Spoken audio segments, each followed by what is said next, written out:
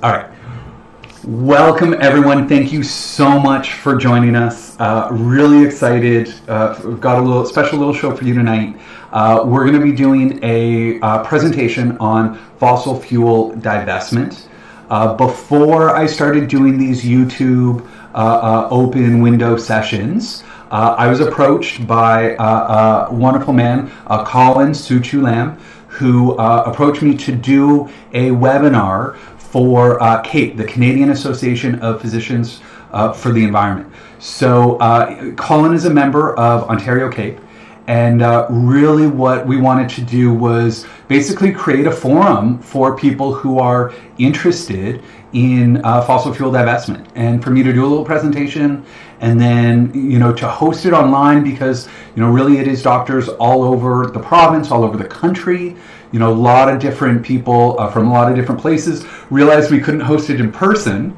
So we started kind of coming up with this idea of doing it live and doing it as a webinar.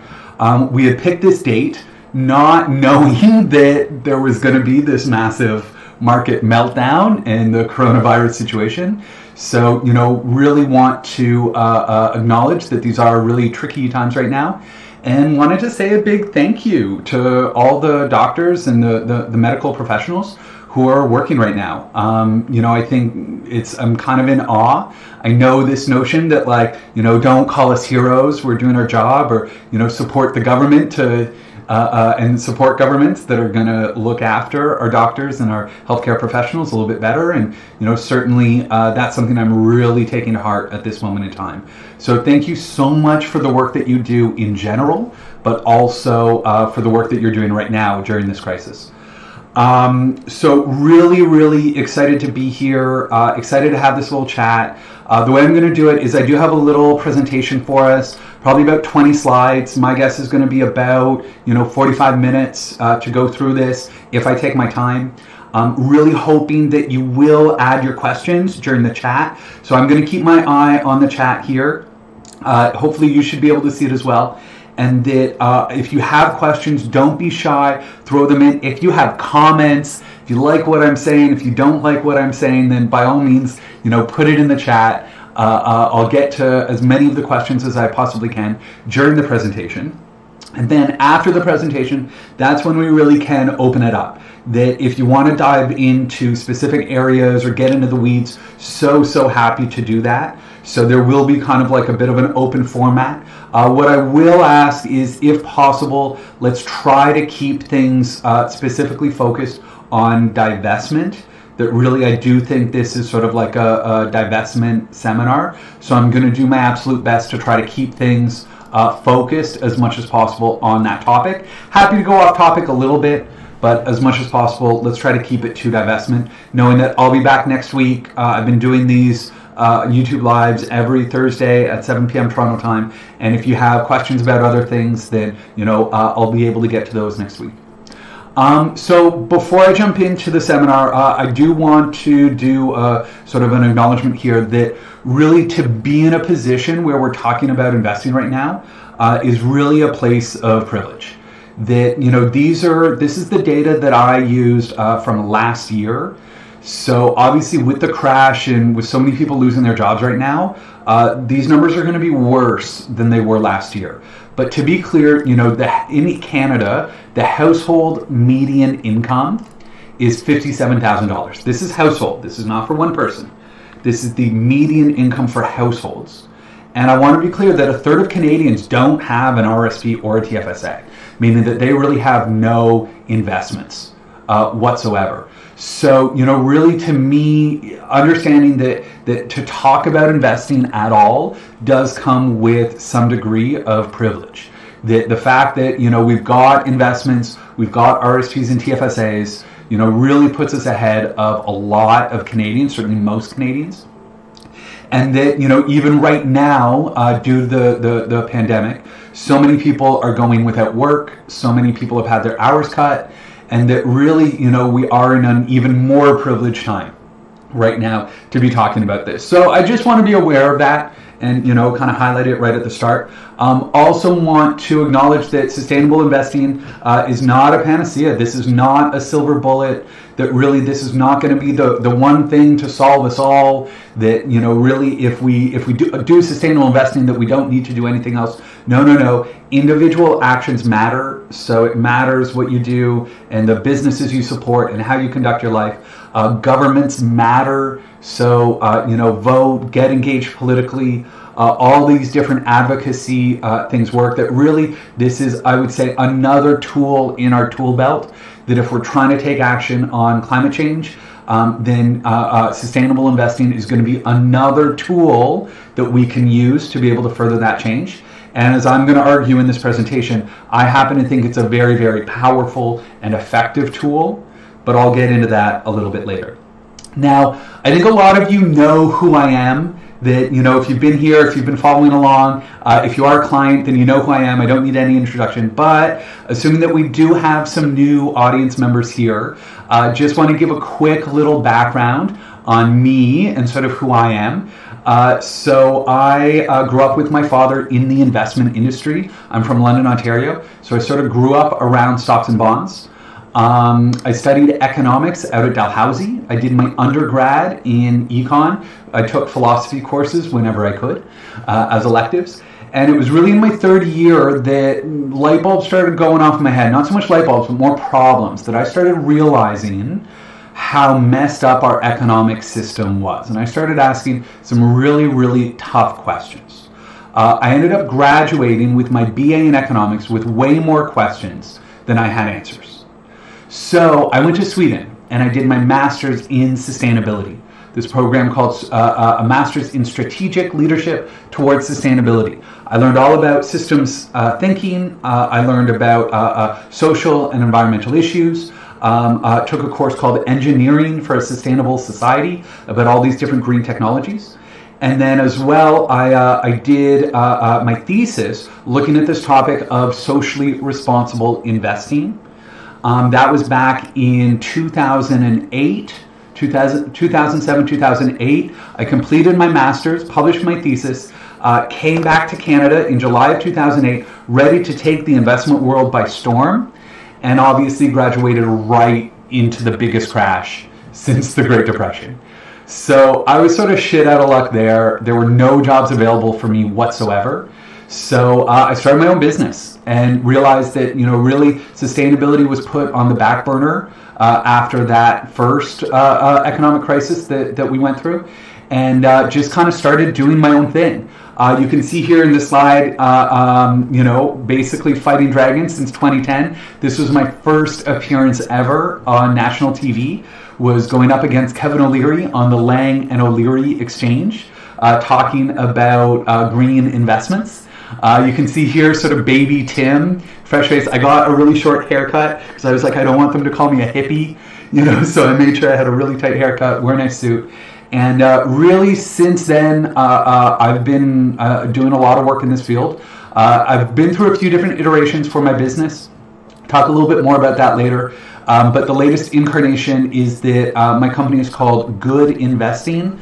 Let me just bring up my homepage here, give myself a little shout out. Um, and that basically what I do is uh, I offer uh, financial coaching, investment coaching for do it yourself investors, for people who care. Uh, about the world and the planet and other people on it, and who want to align their investments with their values. So um, that's where I'm at right now. Uh, I did just pass my CFP final exam. So that was back in November. I'm waiting on a little bit of paperwork to be processed. They need to verify my history, but very soon I will get my CFP designation. I'll be a certified financial planner and uh, working with clients to be able to help them really on this topic of sustainable investing. Uh, so that's a little bit about me. If you do have more questions about me or my background, you know, by all means, throw them in the chat. But otherwise, uh, let's get into the presentation. Uh, so really, what I want to start with is uh, I don't know if anyone was paying attention this week, but uh, oil prices uh, did something absolutely remarkable on Monday. oil prices went negative for the first time ever. So this was a historic moment when oil prices went negative, and it got all kinds of press and all lots of buzz. Everyone was talking about it. So really, before we talk about divestment, I think it is important to understand the context of the moment in history that we are in right now. So I'm going to take a few minutes to be able to uh, uh, uh, explain just what the hell happened to oil prices this week. So, to understand what happened, there are going to be a few steps. I'm going to do sort of an oversimplification right now, but forgive me, I'm going to wear my uh, economist professor hat and just kind of teach you a little bit about oil markets. So, basically, what happened is that a lot of retail investors started buying this one specific ETF, uh, USO. USO is the United States Oil Fund. And you can see here, this is a chart that I took. Uh, this is from uh, uh, an app called Robinhood. Robinhood is uh, a, a, free trading app in the US. So this is like an American uh, version of Questrade or Qtrade or, you know, Wealthsimple Invest, like where you can buy and sell your own investments. So a lot of traders use it in the US, but these are not sophisticated traders. These are retail traders, people doing it on their own and they bought this specific ETF called uh, USO, the United States Oil Fund. You can see here they really didn't, you know, this is the number of users holding it, and really no one owned it until what, what's this, like March 9th? And then from March 9th until April, and then you can see it just jumped up to over 140 users buying this ETF.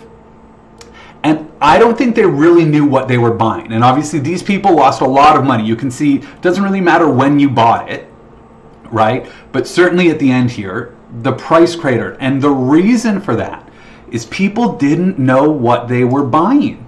So I'm going to show you what they were buying. Um, they're buying this United States oil fund. I kind of get a kick out of the USCF. This is the investment company that makes this ETF. And in fact, this is not actually an ETF. It's not an exchange traded fund.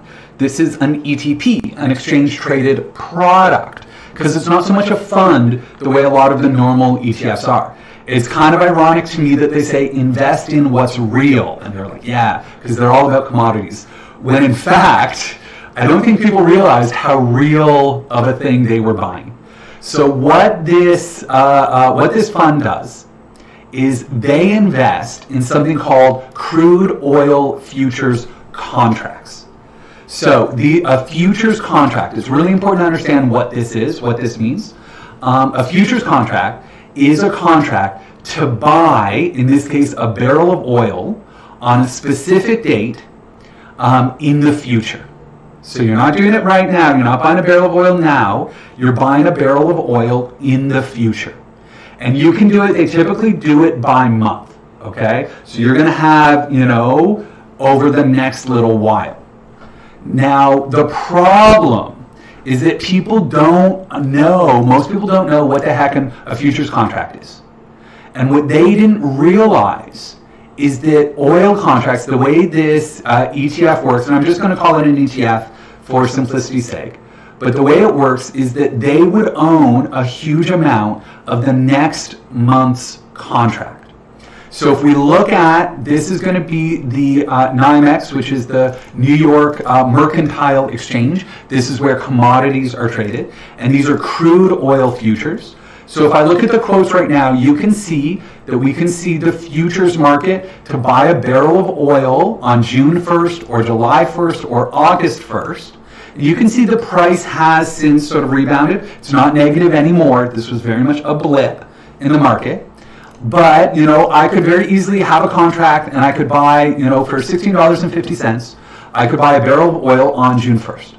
Now, you'll notice that today's date is uh, April 23rd, but we don't have May futures anymore. What I would have to do is I would have to go back in time. I believe it was here uh, uh, or no, sorry, settlements, my bad, um, is that, and I can go back a couple of days. And if I go back just a couple of days to April 21st, you can see here May 20 futures.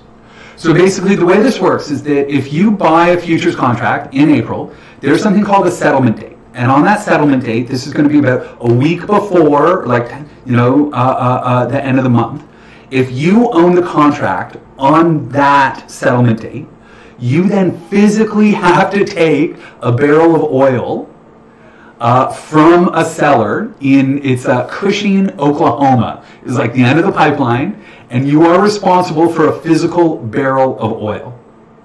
Well, what happened is on the 20th, all of these May 20 contracts owned by USO, this United States Oil Fund, were set to expire.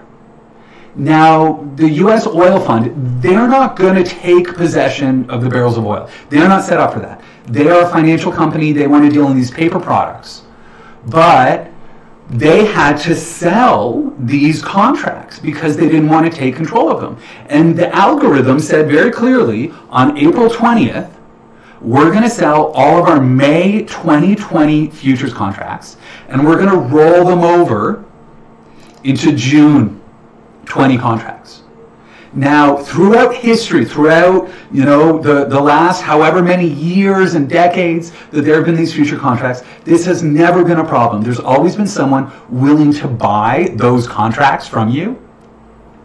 On April 20th of this year, nobody was willing to buy them.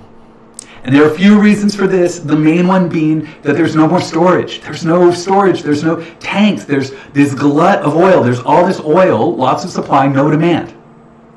And so, because this fund, US Oil Fund, had to sell these contracts and there were no buyers, the price went negative. And you can see that at the lowest point, that people were paying people were paying $40.32 to sell these contracts, which meant that investors, other investors, were able to buy oil and get paid, receive money by buying these contracts. You can see on the 21st, it also was negative for part of the day, but it actually did end up, this is the last price would be at the last day on the 20th, the market did regulate itself and it got back to positive, but for a very, very brief moment in time, the price of oil went negative. And this was a historic marker. Now, in the grand scheme of things, like, so what? So what? Does this matter? Not really. It doesn't really matter. The price went negative. It was a blip. It was it's gone back up. You know, if I look at it as of today, you know, you can see here that it, uh, the last price, here it is, about 17 bucks a barrel. You know, not the end of the world, not the implosion that we saw. But I think this had a huge, profound impact on the psychology.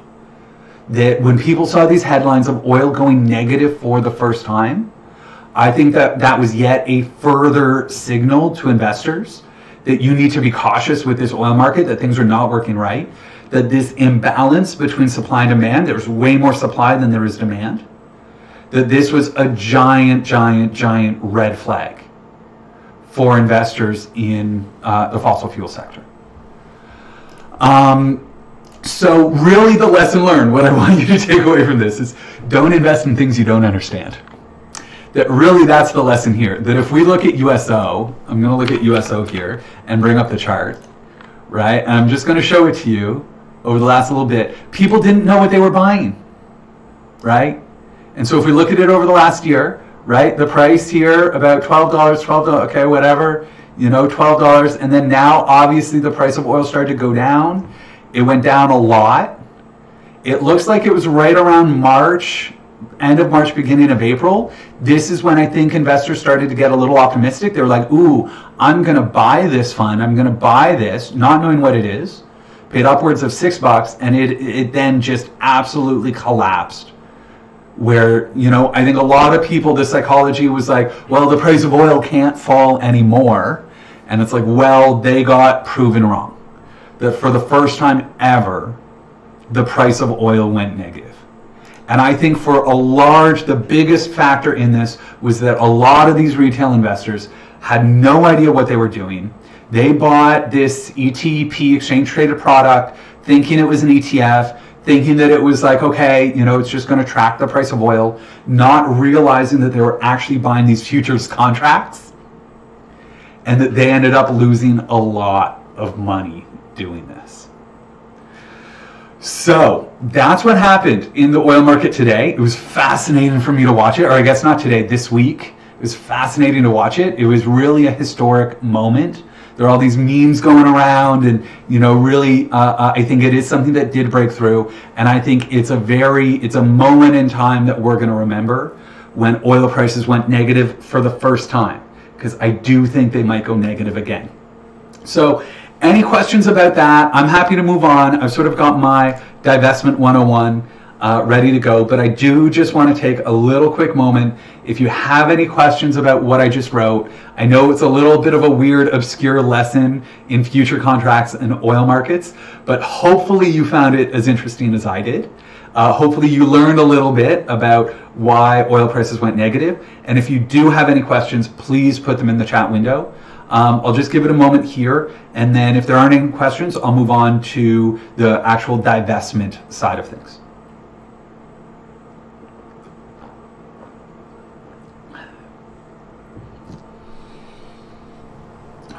All right, uh, I'm going to assume that there's no questions here.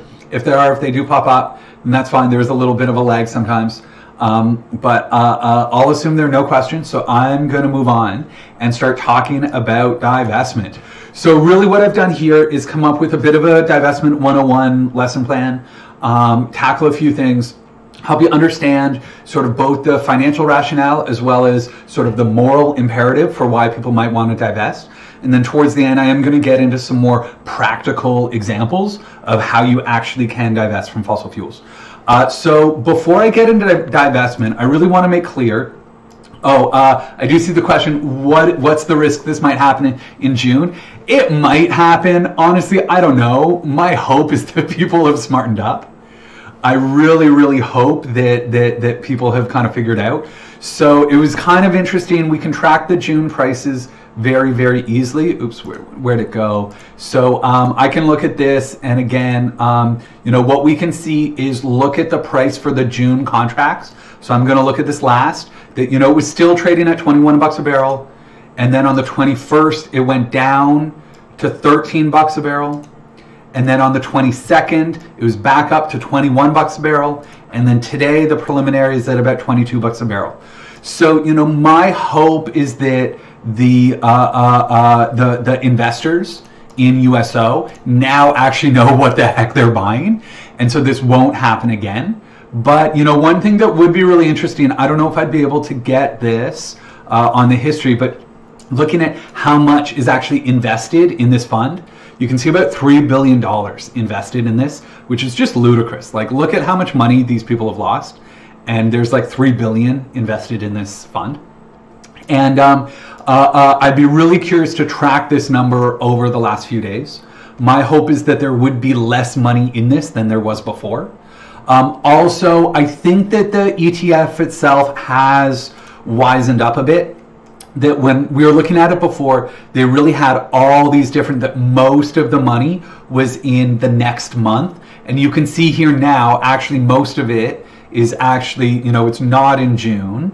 Here's this plus this. So maybe about 820,000 uh, uh, or 820 million rather is invested there, but the majority is July 2020 and then August 2020. So basically, I think that the fund has wisened up. I think that investors have wisened up. I think it's very, very unlikely that this does happen in again in June.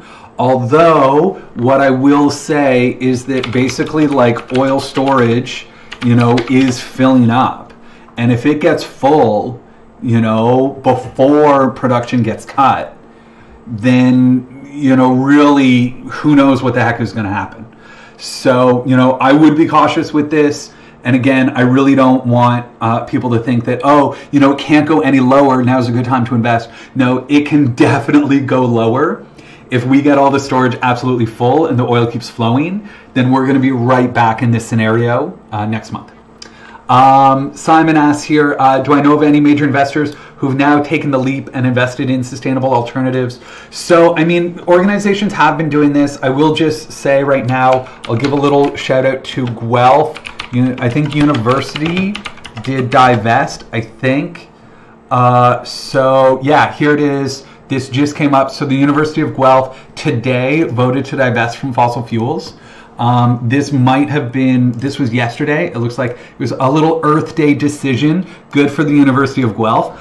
But yeah, they're, they might have been a little bit too late. Like really, I, you know, I bet they're really wishing that they had made this decision three months ago before fossil fuels absolutely cratered.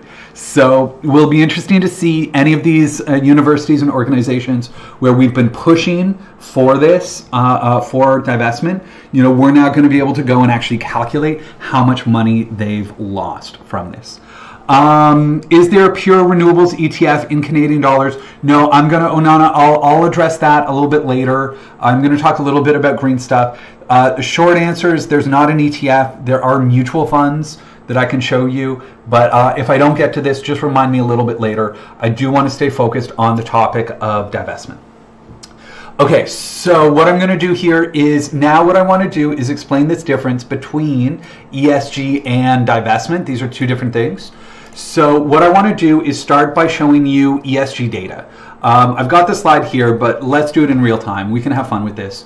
So when it comes to ESG data, there are two main sources. Uh, I'm just going to show you Apple score just because they're like the largest. Here, I can make it a little bigger.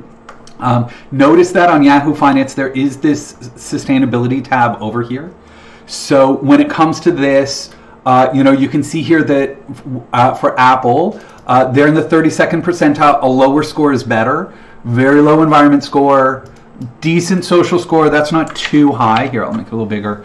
And governance score, you know, not awful, not great. Uh, I know there's no real relative context for these, so this is just I, I know from looking at other uh, uh, companies. And then what's kind of cool is that you can also see these product involvement areas. So this is more for people who do want to like divest from specific issues. You can see if they do have involvement in all these areas. But otherwise, you can see really we do get this environment, social, and governance score. Uh, you know, the other big site for this is going to be MSCI. So MSCI, Morgan Stanley Capital Indexes, uh, they also do these ESG ratings. You can see here Apple, right? Uh, they're going to have a decent score, single A. The top rating would be AAA, then AA, then single A. So they're not bad. Among tech companies, um, you know, there actually no AAA here among technology, hardware, storage, and peripherals. So, you know, an A is not bad, kind of puts them in the top, you know, probably 25% at least. Uh, and then you can see here they do, oh, this is a little awkward. I'll make this bigger just for a moment. You can see they do show where the company's a laggard or average or leader. So that's kind of interesting. Um, you know, really what I want to communicate when it comes to this ESG is that it's not going to account for fossil fuels. That often they don't look at what the company is actually selling. So this is why a company like Suncor can actually have a decent ESG score. Obviously, very high environmental risk, no surprise there, but the social risk and the governance risk is quite low for Suncor. When I look them up on uh, MSCI, you're going to see here, you know, SU, that, um, you know, again, they get an A rating. That a lot of this is done according to their industry. That these ESG ratings, it's not so much about what they're selling. Um, instead, it's about things like their policies, and their procedures and the uh, really the, the, the goals they've set and and their targets and are they on track to meet those targets. So this is why i like to make the distinction between esg investing versus divestment. They often sort of get convoluted. Ideally in a perfect world we would do both but i do want to just kind of you know make that very very clear distinction. Um, so i showed you msci you know and when it comes to esg i would say esg is sort of pulled ahead of divestment right now in terms of priorities. Uh, that what we're seeing is you know investors are really starting to catch on. I have a whole bit that i did in a presentation earlier about how you know people used to call me a hippie for talking about sustainability and sustainable investing and all this stuff and they would just dismiss me. So i have this little joke like you know here are the big hippies at harvard business review you know, mounting evidence shows that sustainable companies deliver significant positive financial performance, and investors are beginning to value them more highly. In uh, investment lingo, we talk about a preference. So we're starting to see a preference for these ESG uh, uh, companies or companies with high ESG scores. Here, these giant hippies, these massive tree huggers at RBC Global Asset Management Uh, you know, companies that score highly in terms of their approach to ESG factors tend to deliver higher cash returns on their investments than their sector peers. Like, wow, this is RBC Global Asset Management saying, you know, higher cash returns for companies that are ESG leaders. Uh, here's MSCI, Morgan Stanley Capital Indices. They've done so much research around this, and they do a lot of the studies and the more sort of research. And we found that over the last five years, companies with higher ESG ratings exhibited higher average return on invested capital compared to companies with lower ESG ratings, right? And then, of course, you know, uh, BlackRock. BlackRock owns iShares, which is, you know, uh, probably they are the largest asset manager in the world. A lot of very popular ETFs come from BlackRock. And what they're talking about is that ESG investing is not just about doing good. A growing body of research points to a link with asset performance. Companies that manage sustainability risks and opportunities well tend to have stronger cash flows, lower borrowing costs, and higher valuations. Like this to me is just like, you know, yeah, this is what we're talking about. That really there is a financial rationale for wanting to invest in companies that have these better ESG scores. And a lot of evidence is pointing to the fact that they are more profitable. Um, this is no surprise to me. Uh, this is what I've been studying for a while. Uh, over a decade ago, uh, uh you know, uh, I read this book by Bob Willard. Bob Willard is from Whitby, Ontario. So he's a local guy. He's brilliant. I would say, you know, one of the absolute leaders. He literally wrote the book on the business case for sustainability. And you know what he talks about is it's a very simple uh, uh, philosophy that companies that are leaders in sustainability are more efficient, right? They use less energy and less water and fewer materials, meaning their costs are lower. Their employees are more productive because the people that work for these companies actually give a damn about the company they're working for, right? And because they're treated well, they work harder and they're more loyal. They stay with the company longer because the cost associated with hiring and training new employees is so high that if you can have employees that are more loyal that stick around a lot longer then you know you're going to save a bunch of money there and uh, finally they are more innovative that basically they're the ones coming out with the, the doing the R&D, coming out with products and services that are going to appeal to this next generation of consumers that are fair trade, that are organic, that are ethically sourced, that are uh, low carbon, that are higher efficiency. They're the ones sort of pushing the boundary on there and creating these new lineups of products that are increasingly becoming uh, uh, uh more profitable and more popular. Uh, there was a really recent study that just came out in the last week from the RIA, the Responsible Investment Association. Uh, so this is an organization for responsible investments here in Canada. Uh, what they did is they looked at these this the average responsible investment fund versus the average asset class fund performance. So the blue line is the average performance of a responsible global equity fund versus the, the yellow bar is the average global equity fund, the sort of like non-responsible one. And you can see here that whether we're looking at the last three months, which would be the crash, or the last year, or the last three years, or the last five years, that these responsible investment funds have performed better. Now, I want to be clear past performance is not indicative of future results. I can't promise you that responsible investments or ESG investing is necessarily going to uh, uh, generate uh, uh, higher profits and higher returns for investors. I don't have the crystal ball. What I can tell you is that if we look at this over the last five years, it certainly has done that. And I don't personally see any reason why it wouldn't continue. I think that investors that were just getting started in terms of this preference, and I do think that we are going to be seeing a big policy shift coming out of this pandemic, that I think governments are going to put a higher premium on uh, uh, human issues, uh, like healthcare and education, on social issues, um, and on environmental issues. I would love to see a Green New Deal. Um, you know, I really would love to see stimulus spending that prioritizes people and the planet. I don't know if it's going to happen, but I think there's a high likelihood. Uh, I've got my hopes up a little bit, and certainly in that case, things would continue to outperform in that scenario. So before I shift to divestment, I do see a little question here. Uh, uh, given the example with oil, could the same be said for creating the same issue with other financial products that retail investors do not understand? Or is this more specific to commodity based products? Okay, so this is a great question. Um, and absolutely, I see all these little blips when it comes to people investing in things they don't understand. There are all kinds of these really weird niche ETFs, leveraged ETFs that you borrow money to invest, right? So you buy a share, but they're borrowing money, so it's leveraged. These things called inverse ETFs, where you're actually betting that the market goes down. So if the market goes up, this ETF is an inverse ETF, it'll go down. But if the market goes down, the inverse ETF will go up. There are a lot of these investment products, specifically around ETFs, that people don't understand. And I think we are going to see these blips.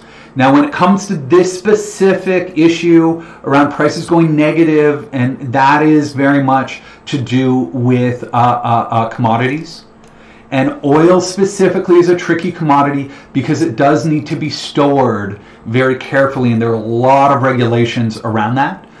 Other commodities, it might not be as bad that you know you might be able to buy them and store them more easily, whereas oil, you know, is a little bit unique there. Um, so you know, but what I would say is that I think there are a lot of these like financial innovations and these like really bizarre niche investment products that I don't want to go anywhere near them. Again, my mantra is like don't invest in things you don't understand. Right? And you don't need to understand all the ins and outs or all the companies inside the ETF, but make sure that you do actually understand the structure. And especially when it comes to commodities, when it comes to some of these weird, you know, inverse things or leverage or these, you know, active or these they're all these really weird ETFs right now that um, I think are going to be, uh, uh, uh, you know, even more prevalent in the future. That um, and and I am worried that retail investors are just going to get duped, are going to buy something because their buddy told them to buy it and their buddy made a whole bunch of money. This whole idea of the hot tip fallacy. I'm sure that's what happened with oil, right? That when I look at the chart of the users buying it, I have no doubt that this jump up here, that there would have been a Reddit post. You know, there's this whole Wall Street bets uh, subreddit where people just do the most ridiculous things. There are all these little chat forums and you know Discord and you know where people talk about this stuff. And when I see action like this, where you know the number of people who bought it doubled in such a short period of time, I have no doubt that people bought it just on a whim. So I would be very, very cautious and I would not want to invest in something if I didn't understand how the heck it worked. Uh, okay, Simon here. What do I think might be the quick win aspects of a Green New Deal? Uh, I can get into green stuff a little bit later. I'm going to talk about that. I want to keep things focused on the divestment right now. Um, but, you know, short answer of this is that I don't know. I'm going to need to look at that. At this point, I'm kind of focused on looking at companies uh, that are going to be okay during a prolonged uh, uh, uh, pandemic. If we do start to see us coming out of it and restrictions lessened and start opening up the economy, and if we start to feel about things about a Green New Deal, I might start looking at things then. But I do feel like it's a little bit early to talk about uh, the Green New Deal and what would benefit there. So, uh, okay, so we talked about responsible investment, why you want to do that. Now I want to talk to you about divestment. And I want to talk to you about the carbon bubble. So, uh, you know, when it comes to carbon, um, you know, this is a chart, this is from uh, probably about a year and a half ago by a group called the Carbon Tracker Initiative. What they did is they looked at the value of all the different carbon reserves. Now, I did a little bit digging into this, and this 27 trillion figure is a little misleading because a big chunk of this is going to be fossil fuels that are underground but also even an even bigger chunk of this is real estate that it is either wide, you know, hugely energy inefficient, or it's also going to be uh, uh, uh, uh, um, in places, for example, floodplains, that as climate change gets worse, this real estate could be at risk. So when it comes to this uh, uh, uh, carbon proven carbon reserves, I want to be clear. There are other metrics uh, and people who have tried to estimate this. This is like the largest number I could come up with. This was supposed to be my like scare you into divestment slide. Because what it says is that if we look at all the proven carbon reserves that are at risk, it equals about $27 trillion. But if we look at the burnable carbon, which is the amount of carbon that we can safely burn in a one and a half degree Paris Accord climate scenario, it's only worth about seven trillion, meaning that there's about twenty trillion dollars of capital at risk. That if we were to take climate change seriously and actually shift our economy in accordance with the climate, the Paris Accord, that potentially we could see these write-downs of twenty trillion dollars. Now, this bubble has already started to massively deflate. That what we've seen over the last three months is just huge, huge, huge write offs and devaluation of these carbon reserves. Just to give you a quick little summary of that. So I know, for example, Teck, Resources uh, write down. So they had a big project write down. So you can see here, this is an oil sands mine, and they just took a $312 million loss on the write down. Um, right? So a lot of these projects that were viewed as assets, we're now starting to realize these aren't going to get developed. These are not assets. These are worth essentially nothing. So we're going to start to see a lot more of these. We already have, um, but we're going to be seeing a lot more of this. So it's hard to know what this number is, but really this is my like worst case scenario of what it could be. That there is this bubble that at one point was twenty trillion dollars probably a lot less now, but still probably very, very big. To put this in context, in 2007, the value of the US home equity market was 13 trillion. And then in 2009, that same market was worth 6 trillion. So this was a 7 trillion dollar housing bubble that obviously was the first domino that caused a global recession. We're looking at a market that potentially is three times larger than that. So I am really still worried about this. I do think that there's a lot, a lot, a lot of value here that could be in trouble um, and is going to get written off if we do agree to take climate change more seriously. And again, this is like, oh, Tim, you know, you're overreacting. You're, you know, you're such a hippie environmentalist. Well, here are the other, you know, sort of uh, uh, eco-fascists or whatever other slurs people have thrown out at me. Uh, here's the Bank of Canada. And this is what the Bank of Canada is saying.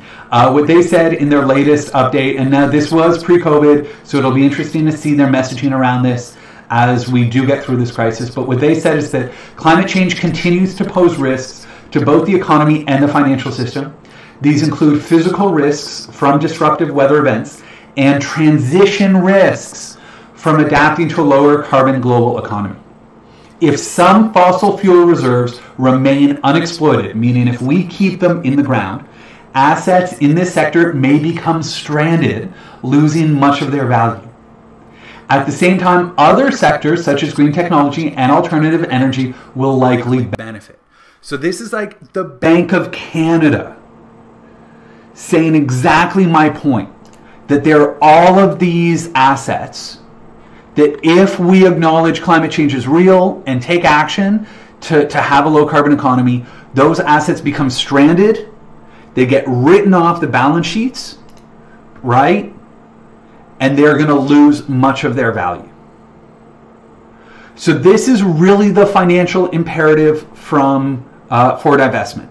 That we are saying that right now, at this moment in time, these fossil fuel assets are mispriced. They are priced too high that we're going to see these prices come down. We're going to see projects get canceled. We're going to see those assets written off, right? And that that's going to cause further loss to investments in the sector. This is really the biggest financial imperative. Now, so what? Does it matter? How does my little RSP or TFSA matter? This is something the Bank of Canada should be handling, right? Well, what we're seeing is that the impact of more and more uh, uh, of an investment preference towards e, both ESG and fossil fuel divestment, that this has a direct impact on the company's cost of capital. So this is the cost the com- uh, companies they need to raise capital.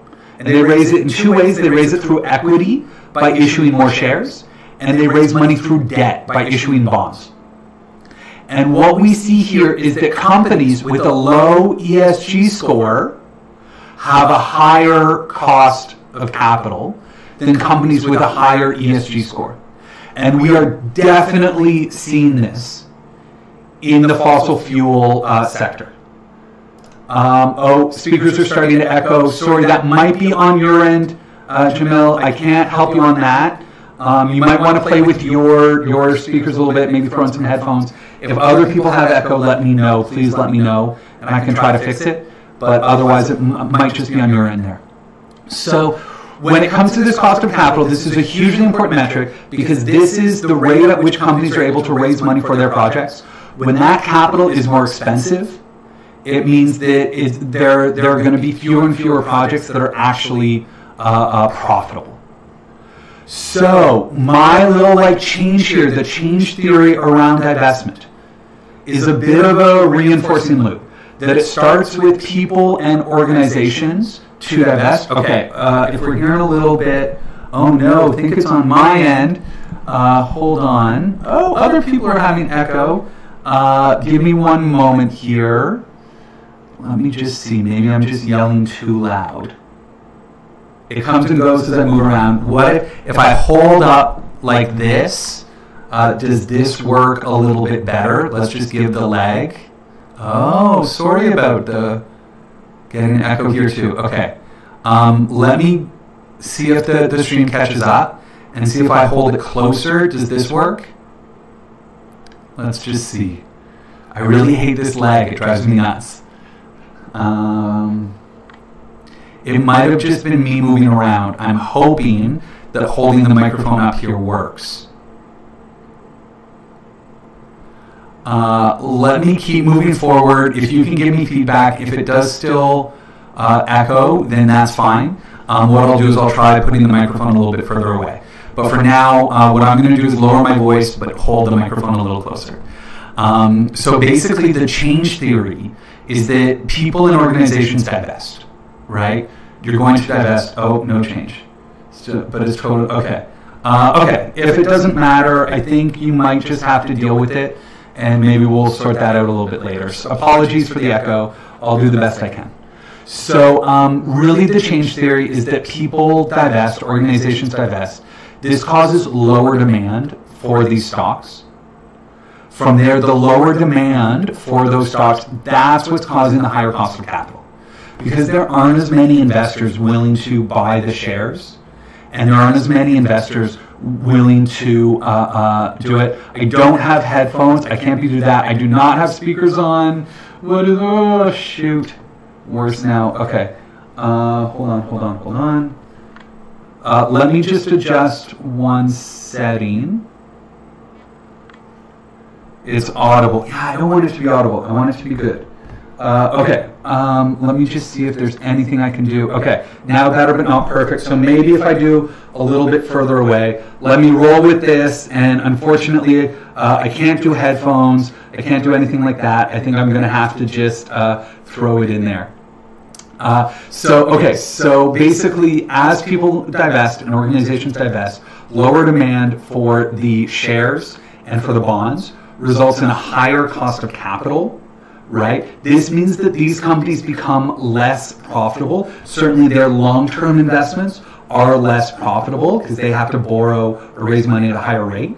Because the companies are less profitable, what it means is that people, more people are going to divest, right? That really this is the change theory here. That as more and more people sell, lower demand, higher cost of capital, less profitable, more people are going to divest. This is what I think is happening right now. And I want to say that we've now verified that, yeah, a lot of people are divesting organizations, a lot of them are, result, and that we're seeing this loop happen in real time. And I only expect this to accelerate and accelerate and accelerate. So, really, to me, this is the financial imperative, right? And that I always get this question, you know, can't get any lower, right? Tim, you know, now's the time to buy fossil fuels, right? It can't get any lower. Well, except that's what people said a little while ago. So let me go. I'm going to show you XEG. So this is the iShares S&P TSX Capped Energy Index. This is the Canadian Energy Index. Uh, from there, what we're going to do is look at the five-year chart here. And you can see that over the last five, know, if I do max, this will show you, you know, that this was 14, 2014, and then the share price came down quite a bit in 2015. This was sort of that oil. And then I heard the refrain here, you know, can't get any lower than this. And then now all of a sudden we're at a point where even from, this was December 1st, 2019, and it has gotten cut in half again. Now, what I think is likely going to happen to the energy sector is that we're going to start seeing dividend cuts. You know, for example, if we see Suncor, right? Now, with Suncor, they have a really nice dividend right now, 8.44%. I don't know if that's going to be sustainable. I don't know if they're going to keep being able to do that. Right? If I'm them if, and I'm running short on cash, the first thing I do is cut the dividend. Now, Suncor might be in a better position because they do have a lot of refining capacity. And so refiners are actually benefiting from these low oil prices. Here's Cenovus. This is a company that is a little bit more of an extraction company. You can see, oof, down from like 13 bucks down to $3, and then it has bounced back up just a little bit. But again, you know, what they're saying here is, you know, the yield not available will be interesting to see how they react to it. But I really do think that in the energy sector in North America, we are going to see dividend cuts, number one, and we're going to see bankruptcies, number two. Now, I see the question over here, you know, but then you have governments bailing them out, and maybe, except I don't think so. I think that certainly here in Canada, a strong signal was sent that any bailout is going to be tied to environmental measures. Now, the U.S. could be a different story. The U.S. in the U.S., I really think you know with Trump right now, and I think they likely are going to bail out some of the U.S. oil companies. But here in Canada, I think that is a tough sell politically. Obviously, we as as advocates do need to keep pressure on the government to not bail them out. Um, and then I really want to underscore just when it comes to climate change, just how important the U.S. election is going to be. That really, you know, I'm not a huge fan of Joe Biden, but I'm very, very certain that he's going to have a better view and a better stance on climate change than Donald Trump is. So it's going to be really interesting to see what happens in terms of governments. You know, there might be ballots. We'll see what happens. But honestly, this view, this perspective of it can't get any lower, just want to remind you that yes, it can, and that certainly the best time to divest would have been, you know, five, six years ago before the first oil crash, when oil was still at 100 bucks a barrel. The second best time to divest would have been about three months ago, you know, before the next oil crash happened. But I want to be clear that I think that energy sector is going to be in for a rough, rough ride for the next little while. It could bounce back. If we do get a bounce back, then, you know, in the short term, it could bounce back up. But, you know, I would say that really, I would just be really cautious of this sentiment that it can't get any lower because it can always get lower. From there, this is, I've been talking a lot about the financial imperative. Uh, I do want to talk for a moment about the ethical imperative for why uh, someone probably wants to divest from fossil fuels. Uh, you know, if you're on this webinar, you probably care about your own personal carbon footprint.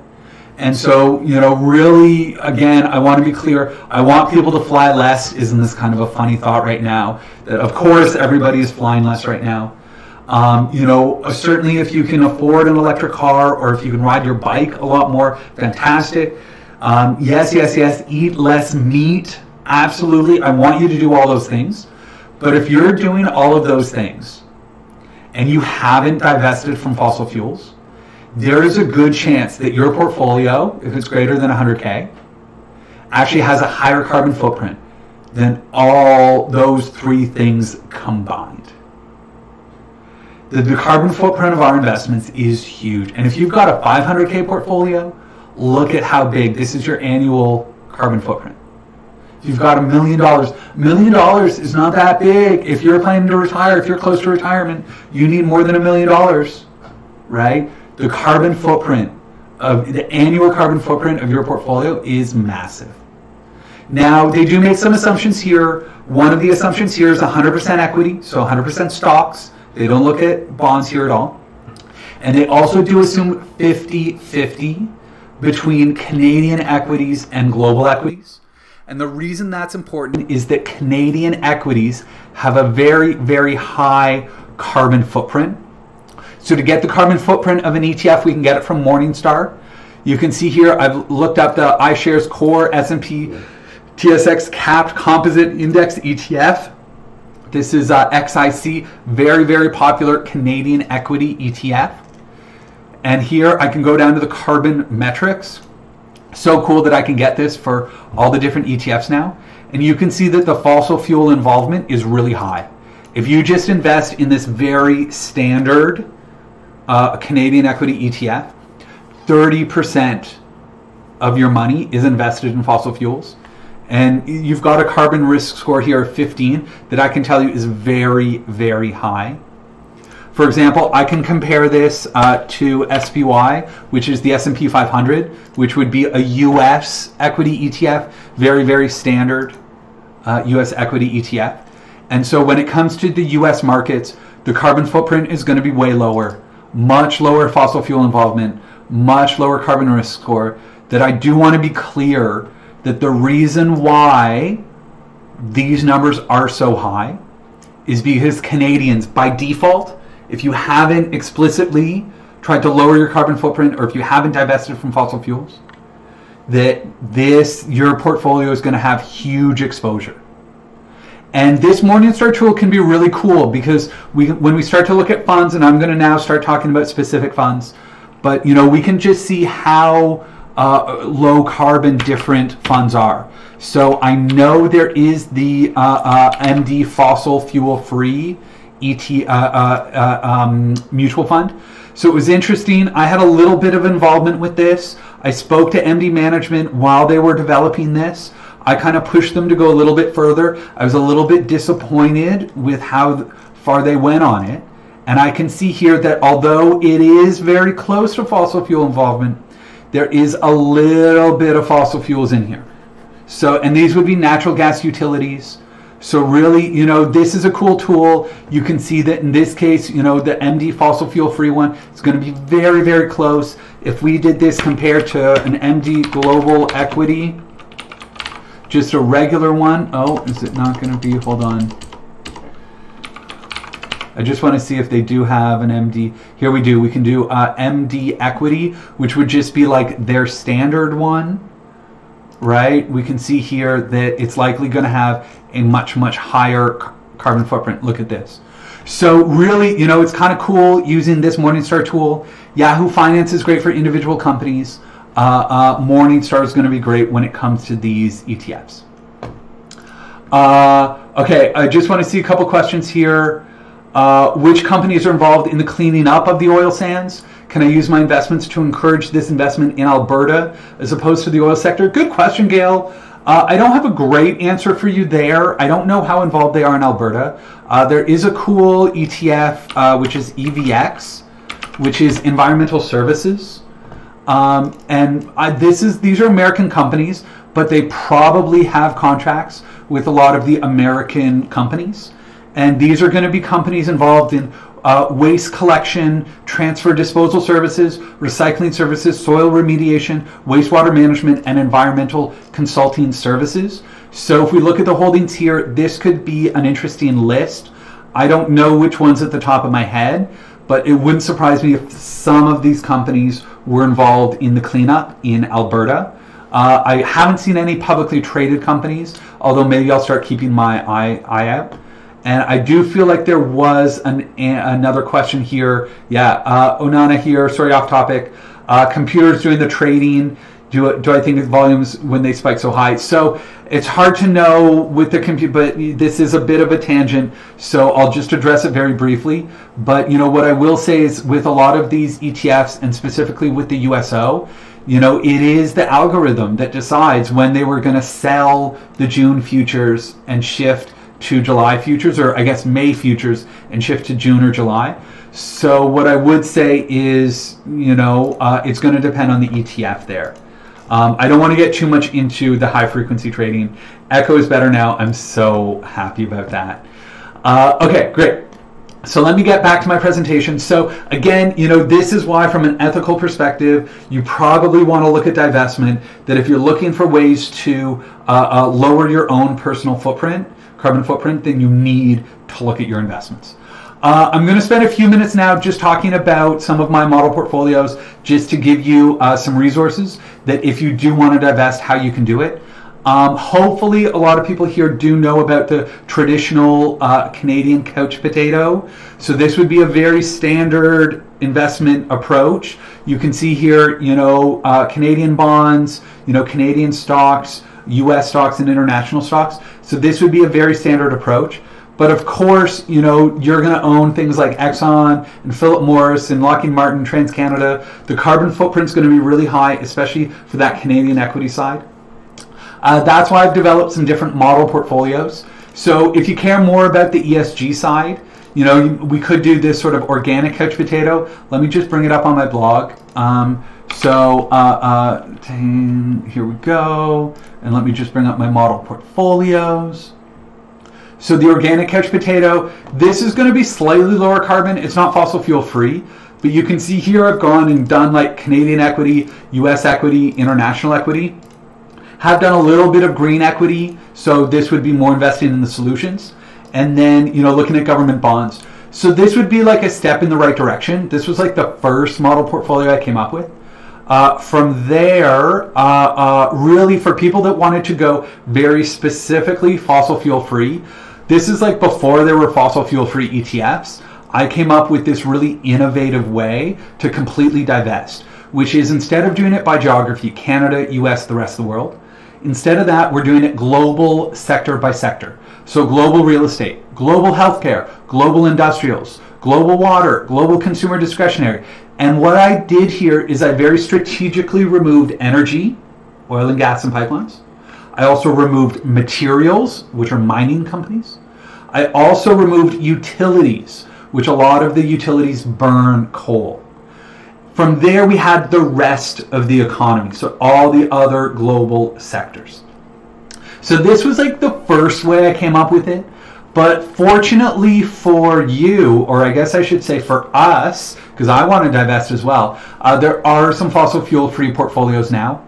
So uh, easy as pie, this one has the uh, Desjardins RI Global Multi-Factor Fossil Fuel Reserves Free ETF. So this is a pretty cool one. Uh, really does get rid of most fossil fuels. There are a couple utilities in here that do burn natural gas. So it's not like exactly like absolute zero, but it is pretty darn close. Uh, there is that MD Management Fossil Fuel Equity Fund, although you know it is on the more expensive side because it's a mutual fund. So I do prefer the ETFs. Uh, as well, there is the uh, uh, squeaky clean portfolio. So if you you're adamant about like absolutely no fossil fuels whatsoever, uh, you can look at this Horizons Global Sustainability Leaders ETF. Uh, it's not perfect. I talk a little bit about it here, and that it does have a glaring weakness in its lack of diversification. Uh, this is one of the big trade-offs that when we do uh, divest from fossil fuels and the more things you want to divest from, you know, obviously, what you're doing is you're investing in fewer and fewer companies. So, really, for me here, you know, this is going to be a good way to get sort of broad global equity exposure, but there are some gaps in it, which I do address uh, uh, about, uh, uh um, you know, in, in the blog post here. Uh, I see a question here thoughts about NEI. So, NEI, I don't love. Uh, there are a couple different reasons for them. Let me just bring them up because NEI tends, certainly from a fossil fuel perspective, has not uh, um, uh, completely divested.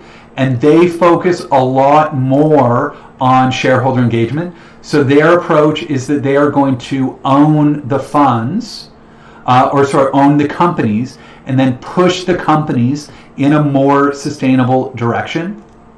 So, for example, if I look at this, uh, uh, you know, where's a global one? Here it is, Global Equity Fund. So, you know, I can do this one. And let me just show you in Morningstar. Uh, here it is, Global Equity Fund, and I'm doing the F series. So this would be the cheaper version. A tricky thing with mutual funds is the fees. So this F, if you buy it on your own, it's only 1.38%. But if I do NEI Global Equity, and if we do the A series, oops, um, the A series, it's the same exact fund, but you can see the fee is going to be a lot higher. 2.46. So if you're going to do mutual funds, buy the F series. They're way, way, way cheaper. Uh, from there, um, you know, let me just show you the portfolio and what's inside. And that what we can do is uh, look at the carbon footprint here. And you can see that actually the fossil fuel involvement for NEI funds is quite high. Uh, the one exception, the one ETF that I do like is this Environmental Leaders Fund. But this is what I would classify as like a doing more good fund that this is going to be investing in green technologies. Um, so this is going to be an environmental leaders, which is awesome. It means no fossil fuels. It means you know doing some really investing in more good. But to be clear, the approach that you know, and look at this high fee. I won't get stuck on the fees, but hold on. I'm just curious. They've got it here. Is it going to give me the carbon? Oh, look at this. And you know, fossil fuel involvement zero, which is great. Um, you know, so I do like the Environmental Leaders Fund, but to be clear, you know, with all of these, I tend to break it up between what I call doing less evil versus doing more good. So the Environmental Leaders Fund would be really, really good for this green section of the pie. But in terms of a global equity fund, where we do want exposure to Canadian, US, and global stocks, you know, it's not going to fit that part of the pie. So, like I said, there are some good Canadian mutual funds here for the Doing More Good, NEI's Environmental Leaders. I really like that one. The rest of them, when you look at what's inside, if you open them up, you know, certainly they're not going to be good from a, a divestment perspective. And even on the ESG side, they're a little bit weaker because they focus more on shareholder engagement. So the strategy there is own all the companies, even some of the nasty ones, and then push them towards sustainability. Personally, I'm not a huge fan of that approach. I would much rather just not own those companies in order to get that sort of systems change model that I was talking about. Um, the last thing I do want to bring up as we're looking at these is really, really exciting to me is that RBC iShares, uh, they have now come out with their new ETFs. So uh, uh, these I've been waiting for a little bit, but they just expanded their ESG lineup, and I want to show you. I think they're here. Do they? Oh no, these are the. Here we go. These are the ESG advanced ETFs.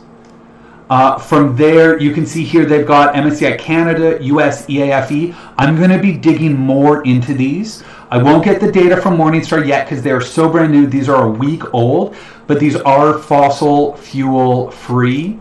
So I'll just give you a quick little look inside of them. But you can see this is, to my knowledge, the first Canadian equity ETF with no energy at all in here, which is awesome. If we look at what's in here, you can see, wow, Shopify number one, fascinating. And then Royal Bank, TD, CNR, Bank of Nova Scotia, no Suncor, no pipelines. To me, this is really cool. It is going to have mining companies in here, right? So again, it won't be squeaky clean, but I would say we can take a look at these. With the USA one, again, there's going to be no ExxonMobil. It's interesting to me, no uh, Amazon that they got screened out for their ESG score. So I'm going to be digging more into these. Uh, so you can expect probably a blog post or something like that in the future uh, as they get a little more information. But really, really excited to see these new fossil fuel free ETFs from uh, iShares. Uh, I will address this question. Are there any ETFs like VGRO uh, in terms of the all in one fund? Um, so, you know, what I will point out there, the only one we have is from BMO. Now, it's not fossil fuel free, it's an ESG one. So, BMO, we do have this, what is it, ZESG, I believe, where this is the BMO balanced ESG ETF. Inside of this, you're going to get the MSCI ESG leaders, USA, uh, Canada, EAFE, which is Europe, Australia, Far East. You're also going to get government bonds and some corporate bonds here, but these are all their ESG funds. Uh, to give you an example of it's not fossil fuel free, so if we look up this ESGA fund, ESGA, I'll show you here. Uh, it is going to have fossil fuels inside. So you can see here Enbridge, huge holding, Suncor, huge holding, right? Um, so you know that's going to be your the only all-in-one sustainable thing. Uh, my hope is that RBC iShares that they're going to do the same with these ones. I would love to see an advanced product, uh, you know, that does have the Canada plus US plus EAFE all in one. I'm hoping, but uh, I haven't seen anything just yet to suggest that. Uh, looks like I missed a question here. Had a question emailed in. Can I comment on the fossil fuel exposure of who? the Ontario Healthcare Pension Plan? Ugh, so not off the top of my head. I can't comment on the HOOPP pension plan. I would need to do some digging on that one. But what I can point you towards is shiftaction.ca. So this is if you want to push your pension plan in a more sustainable direction. Yes, this is again, you know, another tool in your tool belt to be able to manage, uh, uh, to be able to take change. Uh, I want you to get involved with uh, Shift Action, and it wouldn't surprise me if they are doing, are looking at HOOPP. So this is a, they're about pushing pensions to be able to uh, protect pension wealth and pl- pension health. Uh, let me just see if HOOPP was in their latest uh, uh, report because it might be. I just want to see here if they did it. Uh, let me see here. These are the risks. I feel like they did do this progress. Yeah, here we go. They did do HOOPP. Look at this. So according to this, um, HOOPP is at the starting line. That this is not a good sign. So this is going to be from you know uh, uh, uh, you know really understanding that they are just at the starting line. Um, you can see these are the pension plans that are getting started, and then the ones that are rising to the challenge, like OPTrust and Ontario Teachers Pension Plan, and Caisse de dépôt et placement du Québec (CDPQ) would be right now be sort of the, the pension plan the most further ahead. So it looks like HOOPP does have some work to do. I'm just curious if we do get any information. I think they'll be down here at the starting line. Here it is, HOOPP.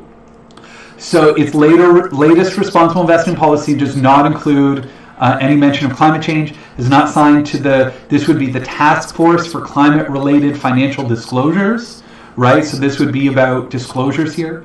Uh, it has undertaken a climate change risk and resilience assessment on its real estate assets, uh, but it did not respond to a letter from beneficiaries requesting information. So to me, this is a huge red flag.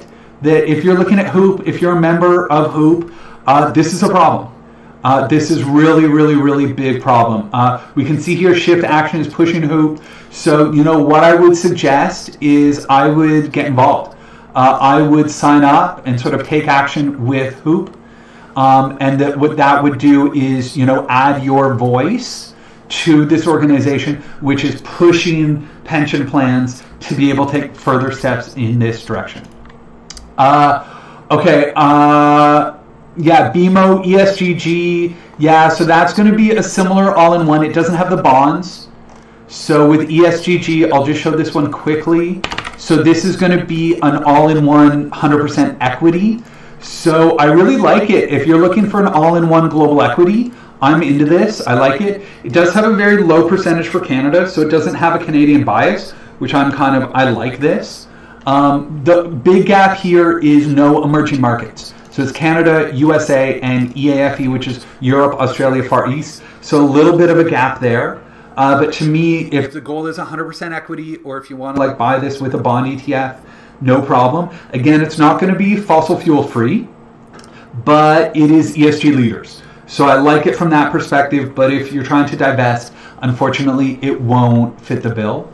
Uh, and then there was another question about from Ronald. Can I comment on REITs? Uh, how do these rate regarding ESG? So I haven't seen a specific uh, ESG REIT ETF. I would love it if there was one.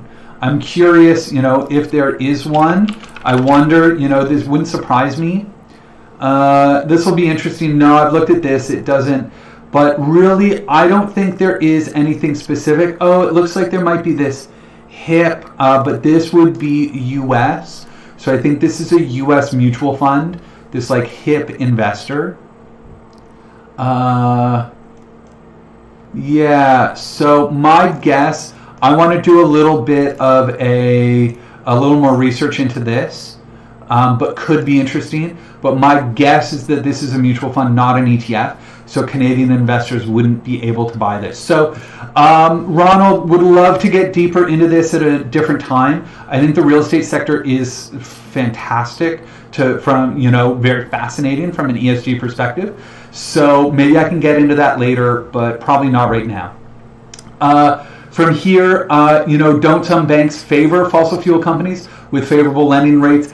I can't speak to that. I will say that a lot of banks have been going deeper into fossil fuel lending, which is why I'm really worried about them, especially the Canadian banks.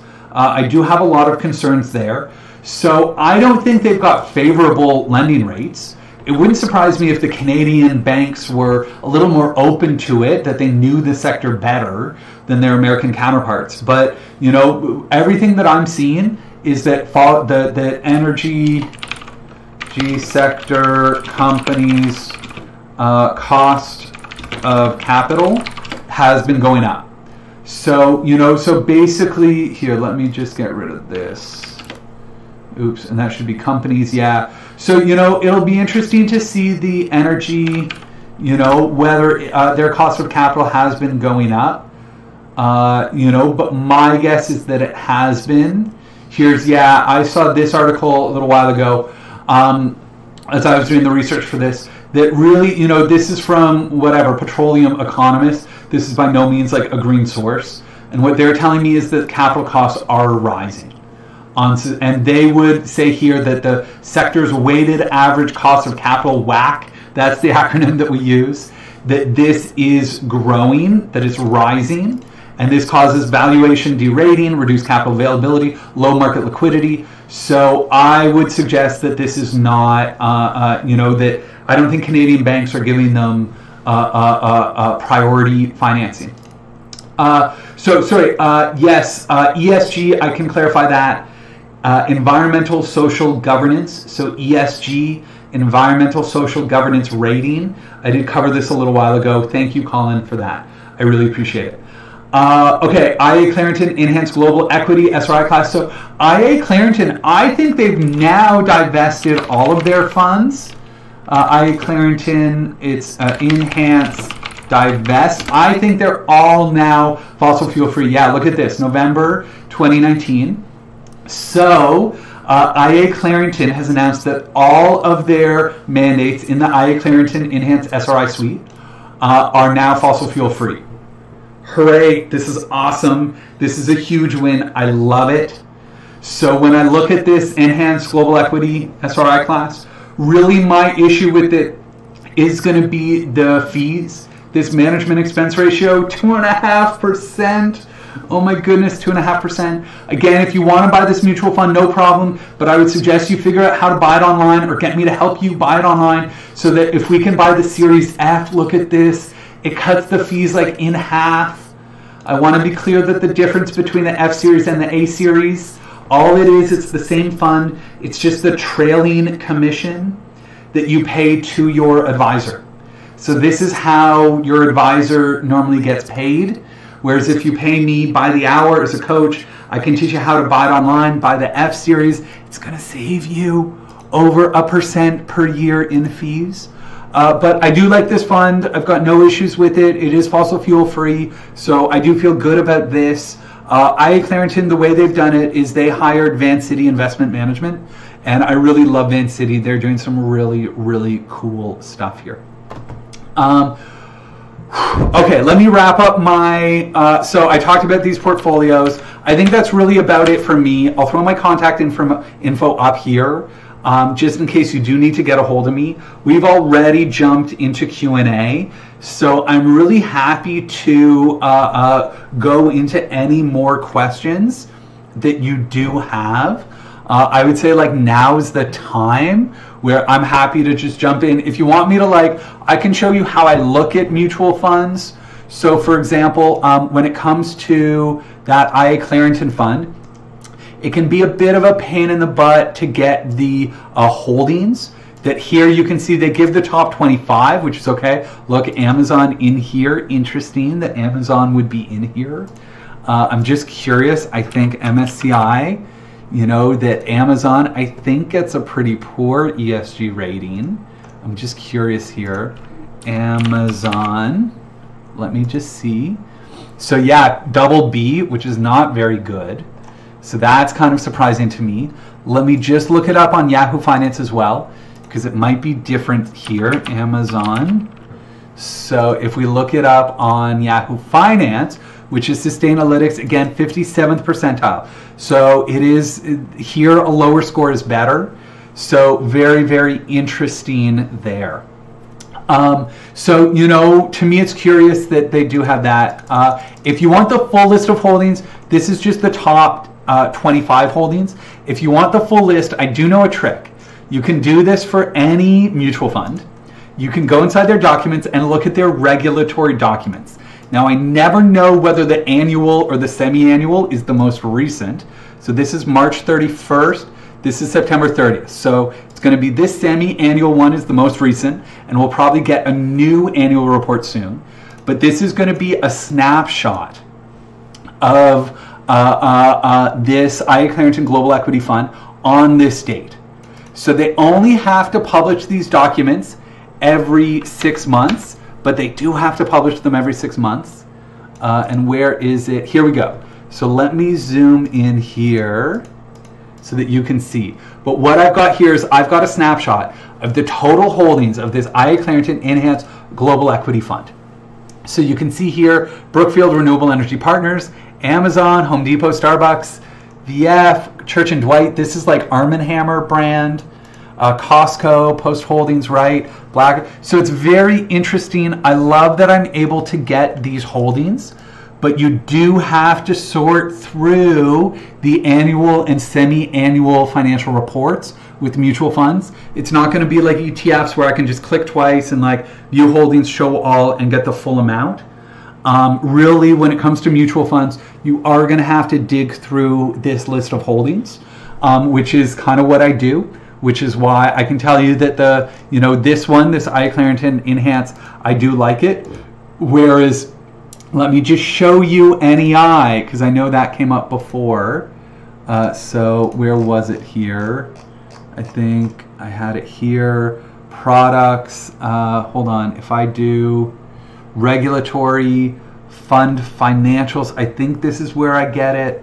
And I'm looking for their annual or their semi-annual. Hold on, I just want to see if uh, fund fact investment. Here we go. Summary of investment portfolio. Let me look, see if I can get it quickly. The global equity, and here's the global equity fund. And let me see if I can get it here. Uh, no, it's not on this one. Here we go. Summary of investment portfolio. So this is going to be the NEI Global Equity Fund, and annoying, this is just the top 25, so it's not even going to give me all of them. But even if I look at the top 25, ConocoPhillips, Nestle, Honeywell, Honeywell does have a lot of military contracts. Uh, TC Energy, this is TransCanada. This is Philip Morris International. Oof. So now I don't know if this is their global equity. I don't know if this is the responsible one. So let me just see if they do. It might be in their. No, you know, this is the global equity. and that it is in the same section as the environmental leaders. So you can see why NEI, I mean, Philip Morris in there, TransCanada in there. Oh, I'm not very happy about that. So this is why NEI for me, I don't love it. Uh, okay, let me get a couple questions here. Yeah, so you can no longer buy the F series for the IA Clarington fund via Questrade. Uh, not sure why, but they transferred me out of Series F after I purchased them. Duncan, I know this happened. This was such a pain. You can still buy it through other platforms sometimes. Basically, they have to sign this like F series agreement. And so, uh, uh, you know, really, it's annoying. Each mutual fund company does it with each one. Uh, Kim, you want to look at environmental leaders? Sure. Let me see if I can get it. Um, but really, you know, in my mind, uh, uh, uh, this is why I prefer ETFs, that we just don't have to screw around with understanding whether we can at each platform. Um, so, you know, it wouldn't surprise me if we could buy it through other platforms, but through Questrade, for whatever reason, IA Clarington and Questrade, they just terminated that F Series agreement. I bugged them on it. I tried to get that resolved and I just couldn't. And then now they're fossil fuel free ETFs so I'm not even going to bother doing this. Uh, Onana asked, is diluted a bad word when used in an earning reports? For example, diluted earnings per share. So no, it's not a bad, bad deal. When you're diluting shares, you're just issuing more shares. Uh, oftentimes, what you're looking at here is they will split it up between shares that are traded on the market, and there might be like private shares for like founders of the company, people who owned it. So, diluted earnings per shares, I really wouldn't worry about this. Certainly not a bad word. Uh, Colin, if you're not happy with investing in Canadian banks uh, because of the role they play in financing energy projects, what can you do? So obviously we can look at uh, uh banks outside of the U.S. or outside of Canada, rather. So there are going to be some ETFs there. Uh, in terms of exposure for the U.S., you know, you don't want the big banks in the U.S. either.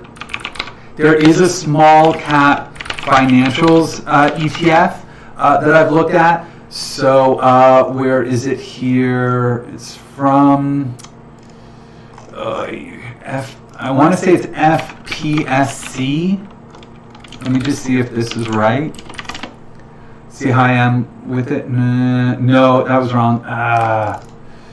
Um, small cap financials. Let's see if I spell ETF right. Um, ETFDB. Yes, this one but yeah, it's from Invesco. Here it is. So this is the Invesco S&P Small Cap Financials ETF. So these are going to be small cap uh, uh, U.S. Uh, financials, banks. There are going to be REITs in here, insurance, thrifts and mortgage finance. I don't love these. These are going to be like payday lenders and things like that. So it might not be great. Um, but if we look at it in here, you know, it's going to be a lot of community banks, eHealth, okay, Glacier Bancorp. So these are going to be a lot more sort of local, smaller U.S. banks. And what's kind of cool is that it has performed about the same as the large cap ones. So if I do like IXG, which is the global financials ETF, right? I can show you the chart over the last, uh, uh, why don't we do the last five years here? Um, I might have to zoom out a little bit to get the date. No, I can get it in here. So you can see financials have taken a really big hit, haven't bounced back up as much as some other sectors. I can now compare it to the shoot. What was that uh, ETF? Uh, the ticker symbol PSCF. I was close. PSCF. Um, oh, it's not popping up. F. Here we go and I'll make this one purple so that you can see it. And you can see that it has tracked it pretty closely. The small cap has actually outperformed the, the global financials. So obviously it's not as diversified, much more focused on the US economy, which right now I might be a little bit more cautious about. But I would suggest you, uh, uh, you know, if you didn't want the big banks, this would be a way of doing small cap banks. Um, or, you know, you can look at some individual companies uh, uh, you know, and, and kind of pick and choose the ones that you want. Um, do you have a good um, good emerging market ETF that's fossil fuel free, Cal? This has been so hard. Uh, point blank, no, I don't have an emerging market that is explicitly fossil fuel free. Um, the closest one is not just emerging markets, but it is mostly emerging markets, is the iShares MSCI Global Impact ETF. So this is SDG. Uh, it's linked to the UN Sustainable Development Goals, which is kind of cool. So the way it works is that there is an ESG minimum ESG score. So it's got to have strong socially conscious practices, but also build their business around products and services that may drive positive change. So this is kind of a cool way of sort of doing more good. When we get into the doing more good options, you know, I can show you uh, uh, sort of what's in here. Gilead Sciences, Procter & Gamble, East Japan Railway. So again, you know, it's going to have uh, uh, no exposure to energy, and it's going to have more exposure to healthcare, obviously sustainable development goals, and uh, you know, consumer staples, and then industrials, which are going to be a lot of the green sectors. And what I can do is look this up on Morningstar just to double check. Oh, I didn't show you the emerging markets, sorry. That it does have exposure to China here, uh, right? Other, uh, uh, Belgium, Hong Kong, South Korea. If you look at it, it does have India, Brazil, Mexico. So they are all going to be in here. So emerging markets are inside. And that I can confirm, I think that it's got, yeah, fossil fuel involvement very, very low. So not 100%. It's always going to be really hard to get that down to exactly zero, but this would be sort of like low carbon, almost fossil fuel free. Uh, okay, any thoughts on breaking up with your long-term advisor to invest online? Yeah, uh, do it, do it. Uh, I'm a big believer in it. I mean, depends. Some advisors are good. Some are like they they give you attention and they're worth their fees it's very rare that they're actually worth their fees.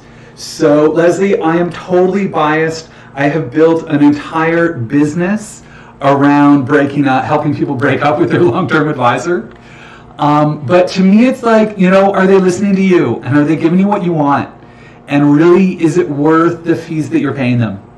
And if they're not listening to you and they're not giving you what they want, like I've heard about so many advisors that when people bringing up divestment or these other issues, they just like kind of dismiss it or they talk down to you or they like warn you that you're going to like, you know, lose all your money even though these things have outperformed. So, you know, really to me, it's like if they're open to it and they are providing value and they are helping you, then stay with them. But if they're not, or if you just want to save the fees, then I would absolutely go through that process of breaking up with them.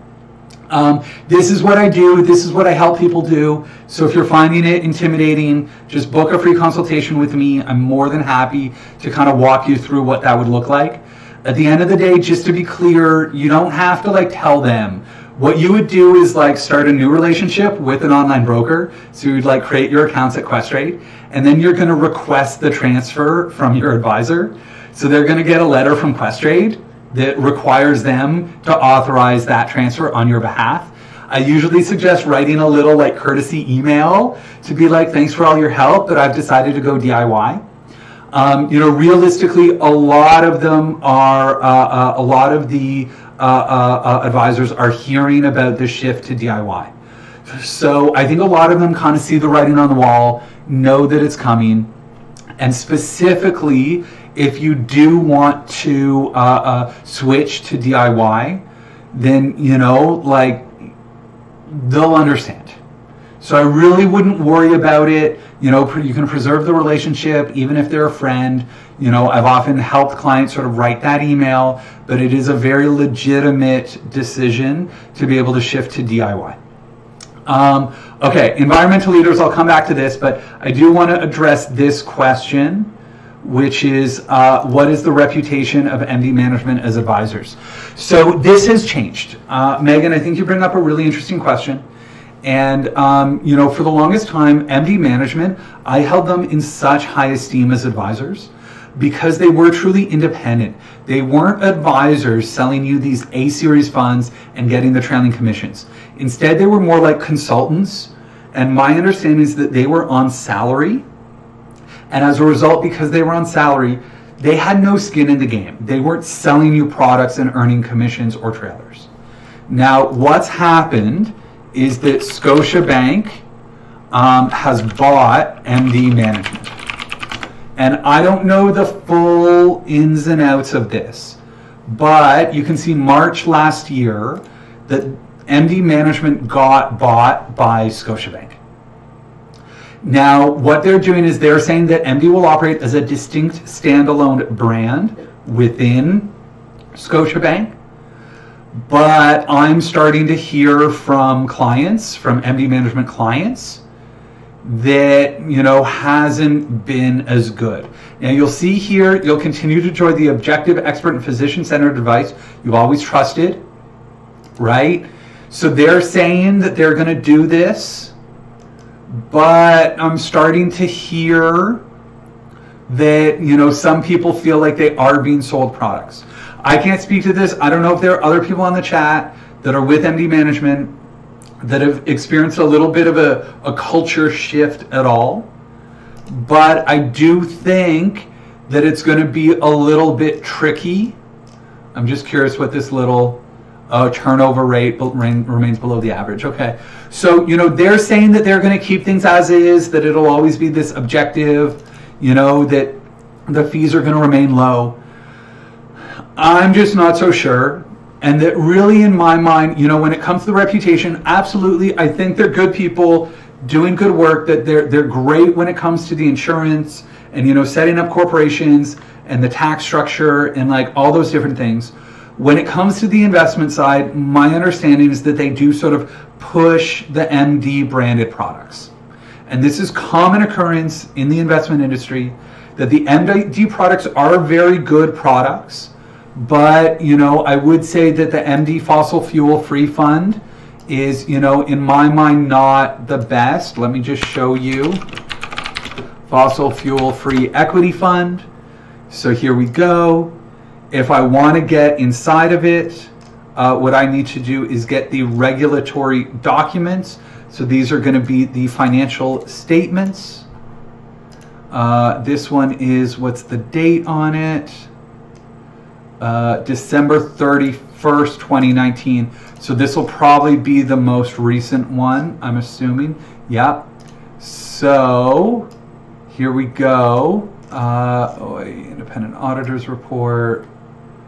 Forgive me. Okay, here we go. Fossil fuel free equity fund. So it's got alcohol in here. Uh, Anheuser-Busch, not a big deal. But what this tells me is that they don't use these socially responsible guidelines of getting rid of the quote unquote sin stocks of alcohol, tobacco, weapons, those other things. When I had conversations with them, they were really, really focused on getting rid of fossil fuels. That was their mandate. They said, we're going to do this, we're going to be really, really good at it. What it means is that they could own alcohol, I think tobacco is out of all MD products. I think that was a decision made a long time ago with the policy. But you can still get alcohol in here, and I think you can still get weapons in here. Okay? So, for example, let me just see. I mean, there aren't too many things in here that I don't like. But let me just see here. Oh, here's Heineken, a little more alcohol in there. Um, and in United States, I just want to see. So these companies here, and there was uh, Honeywell was in here when it started. It's not anymore, but it was in here when it started. So looking through this, it's like it's not awful, but I would say, to my knowledge, they're not doing ESG or any type of socially responsible investing. That really the mandate here is very, very specifically to be fossil fuel free, which is fine. I've got no issues with it. But you know, if you don't want alcohol or if you don't want weapons, you know, this is one where it could have this. And then, you know, for me, the the issue is going to be more the fees. That if I look at the Series A and the Series F, and again, these are going to be cheaper than than the fees at the big banks, but you can still see 1.6% for the A series.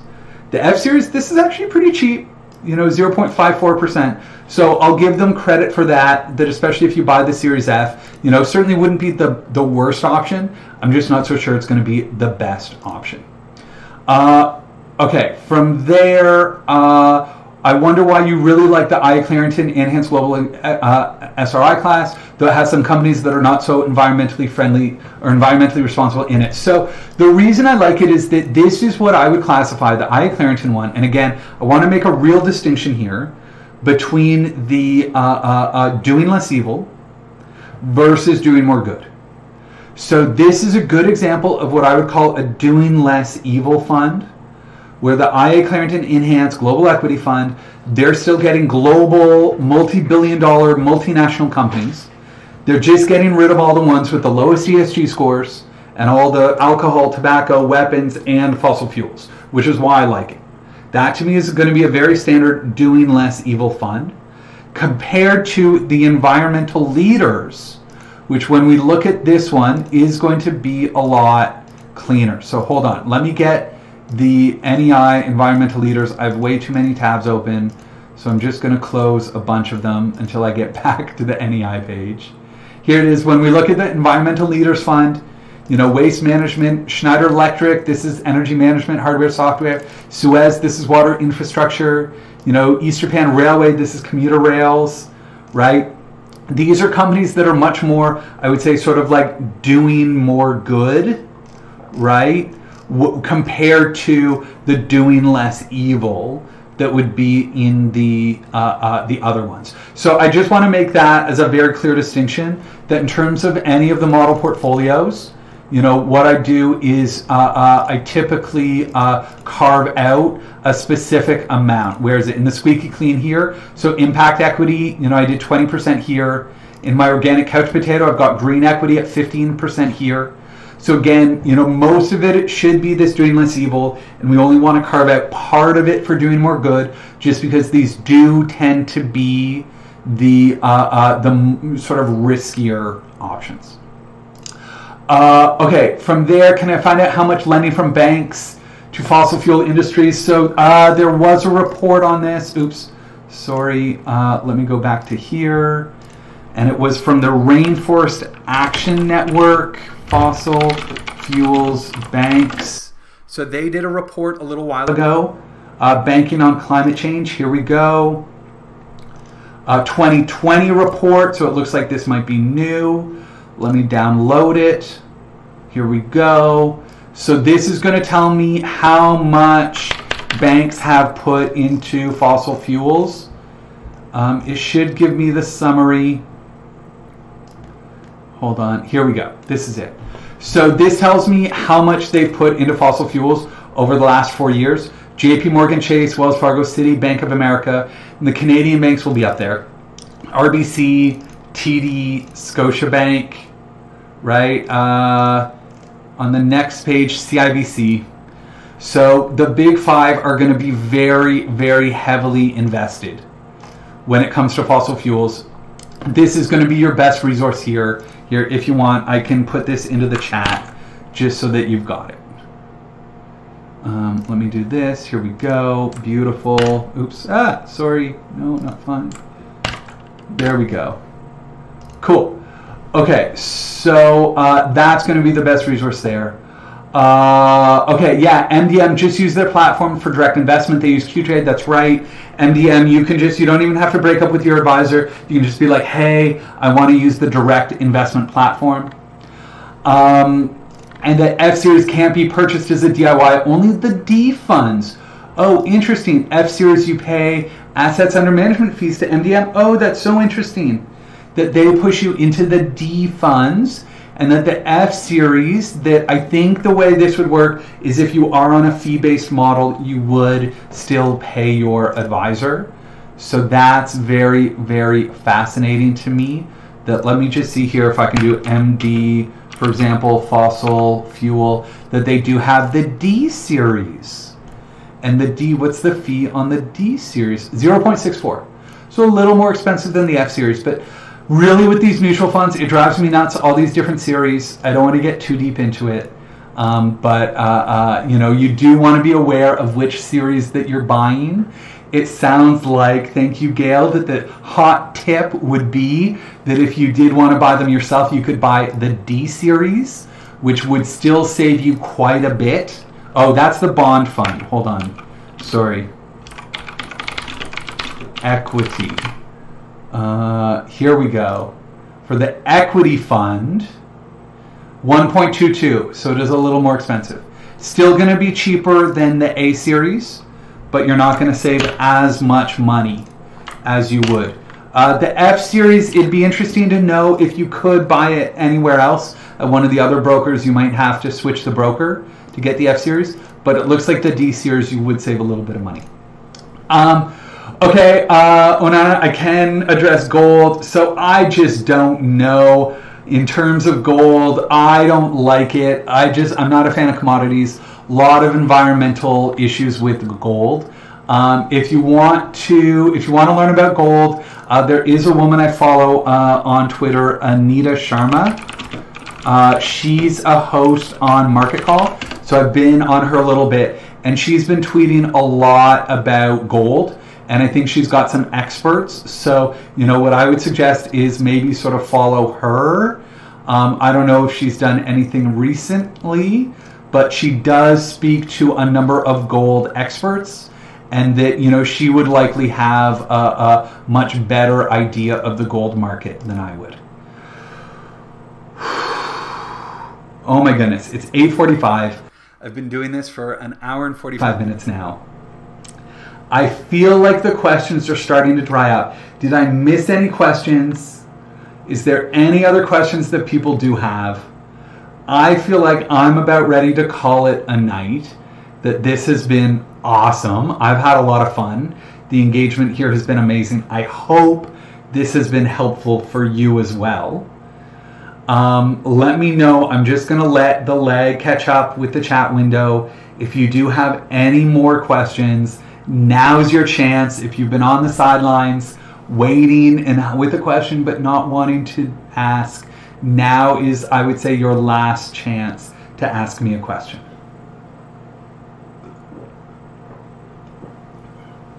Great presentation.